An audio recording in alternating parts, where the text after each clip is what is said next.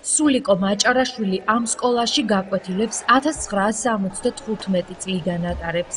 ის დაწყებითი კლასების პედაგოგია. 39 წლის განმავლობაში მას წელს პირველად არ ჰყავს პირველკლასელები. სულიკო მასწავლებელი გაკვეთილს ახლა მეოთხე კლასელებს უხსნის. მოსწავლეთა რაოდენობა აქაც მცირეა. ამ ეკონომიურმა კრიზისმა ხალხი აიძულა წასულიყო საარსებო წყაროს საშუალებლად აუცილებლად და მონახა სამუშაო სათხაც. ოჯახი წავიდა, ბავშვიც უნდა წაიყვანოს ეს ასე. მე ვფიქრობ, რომ აი ეს ჩემი უბნიდან წასული ახალგაზრდობა, ეს ის თაობა არის, რომლებსაც ახლა პატარა ბავშვები უნდა ყავდეთ და იმათ ბავშვებს უნდა ველოდეთ სკოლაში ჩვენ. მაგრამ სამწუხაროდ ისინი ადგილზე აღარ ცხოვრობენ. შუქრუთის პირველ საჯარო სკოლაში მოსწავლეები კლას კომპლექტებში სწავლობენ. თემო და გიორგი მესამე კლასელები არიან. ამ კლასში მხოლოდ ორი მოსწავლე სწავლობს. კლასში კი სულ სამი მერხი დგას. აქედან ორი ცარიელია, რადგან წელს ამ სკოლაში პირველკლასელები არ მოვიდნენ. ცარიელი მერხები პედაგოგებისთვის ყველაზე მძიმე თემაა. ეს ძალიან მტკივნეული პროცესი იყო თითოეული ჩვენგანისთვის, მაგრამ რას ვიზამთ, ეს არის ძალიან მწარე რეალობა, იმისთვის, იმიტომ რომ სოფელში სამშაო არ არის, ხდება გადინება სოფლიდან მოსახლეობის და ამიტომ ესეც მწარე დაესახა ჩვენს მუშაობაში და ამიტომ წელს ჩვენ პირველ კლასელი ვერ მივიღეთ სკოლაში. შუქრუთის სკოლის მსგავსად ჭიათურის კიდევ ხუთ სხვადასხვა სკოლაში წელს პირველი კლასელები არ ჰყავთ. რომ 53 საჯარო სკოლიდან 5 საჯარო სკოლაში არ ყავს პირველი კლასელი. ანუ პირველი კლასი იქ არც ერთი მოსწავლე არ დარეგისტრირდა. 2006 წლის ბოლოსთვის დაახლოებით 10000-მდე საერთო მოსწავლე იყო, დღეს კი 5500 არ აღემატება. რა არის ახლა ამის მიზეზი? ძირითადად მიგრაცია, დაბალი შობადობა, შუქრუთის საჯარო სკოლაში სულ 44 მოსწავლეა.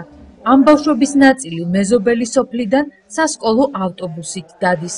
სკოლის ორსართულიანი შენობა ახალი გარემონტებულია. აღჭურვილია თანამედროვე ინვენტარი. როგორც სკოლის დირექტორი ამბობს, სერტიფიცირებული პედაგოგებიც ყავთ და წარმატებული მოსწავლეებიც. ერთ-ერთ მიზეზად მე იმასაც ვთვლი, სკოლა თვითონ მატერიალურ-ტექნიკური ბაზა არ იყო სრულყოფილი და არ იყო კარგ მდგომარეობაში, კარფანჯრები ძალიან ცუდ მდგომარეობაში იყო, საკლასო ოთახებში სულ ჩამოყრილი იყო ეს კედლები ჩამონგრეული და რა თქმა უნდა ასეთ სკოლაში შობას არც ისე არ აქვს სული რომ მიიყვანოს ბავშვი და ამისთვის ყველაფერი გავაკეთეთ.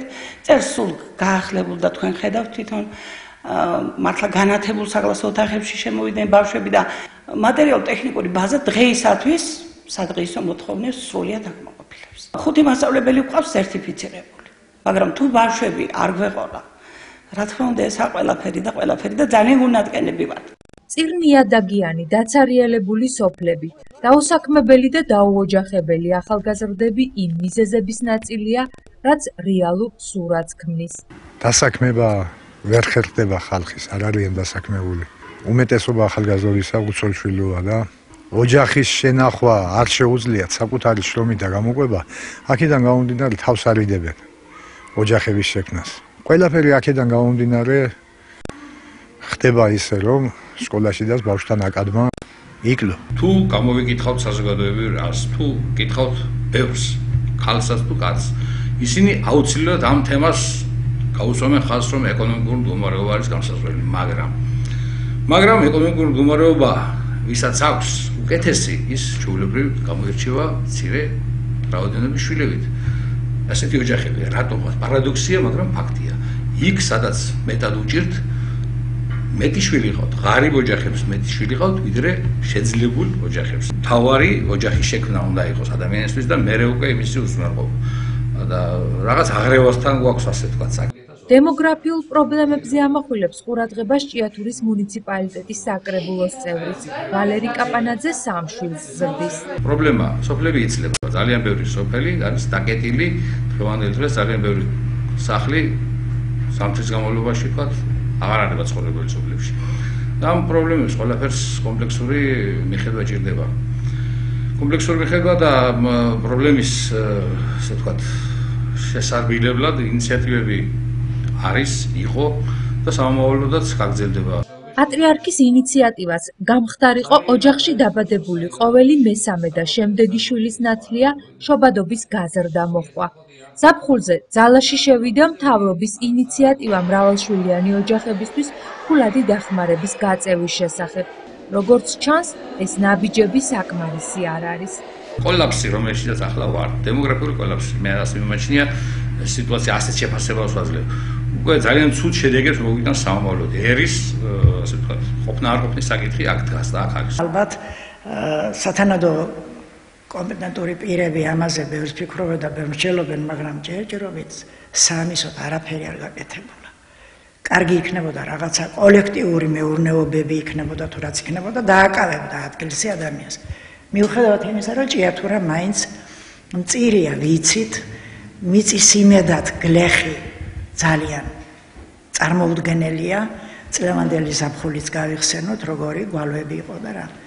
ადამიანს ხომ არსებობა უნდა შვილს ხომ გაზრდა უნდა. სამისო წყარო არაფერი არ გამოინახა. 2009 წელს ჭიათურაში 671 ბავშვი დაიბადა. სწორედ ამ რაოდენობის მოსწავლე უნდა მისულიყო წელს პირველ კლასში. თუმცა ჭიათურის ზოგად საგანმანათლებლო სკოლებში მათგან მხოლოდ 342 შევიდა